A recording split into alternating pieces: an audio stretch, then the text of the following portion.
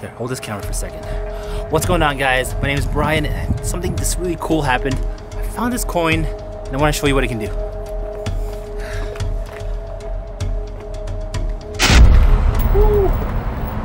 Yo, how'd I get here?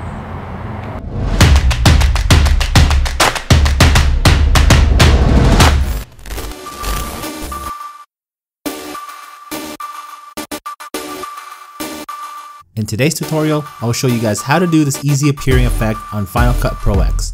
Let's start with the filming portion. Film your opening scene first.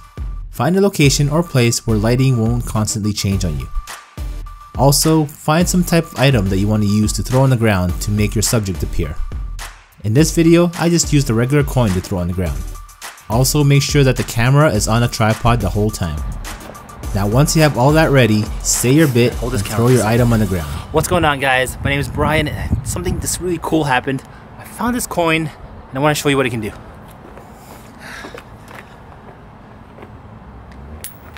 Woo! What's up?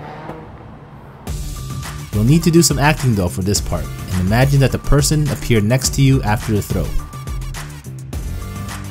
Next scene, have your second person come in, and also have them act as if they've been magically teleported there. Make sure that you don't overlap with your subject. Try to stay on the other side of the screen. That's all you'll need to film. Launch Final Cut Pro and let's get started. This one will be really easy to edit. Find the first clip of you talking to the camera and place it on the project timeline.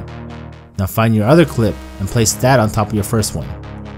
Make sure to trim this clip and move it to the proper spot just after the coin hits the ground. Grab the Draw Mask tool from the effects browser and place that on the top clip. You'll need to start placing the key points at the part where the coin hits the ground. So in this clip, I will start placing the key points around the subject's shoes. Once you have placed them, add some feathering and place a keyframe. Then, place a keyframe under transforms and control points.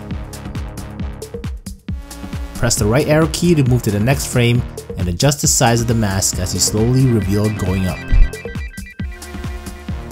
I would probably have the subject fully revealed after 4 to 5 frames.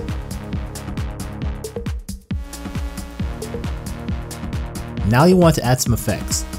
I've included a download link in the description below to the spark and smoke effect that I used in this video. But definitely check out videocopilot.net. They are the ones that provided me with these high quality visual and sound effects for this video. Place the spark and atmosphere effects on top of the two clips. Line it up with the very top clip. Adjust the placement of each effect by pressing the transform tab.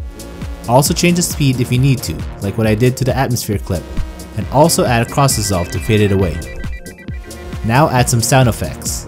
I added a hard impact sound right when the coin hits the ground. Color graded as well to give it that mood that you want by adding some color correction.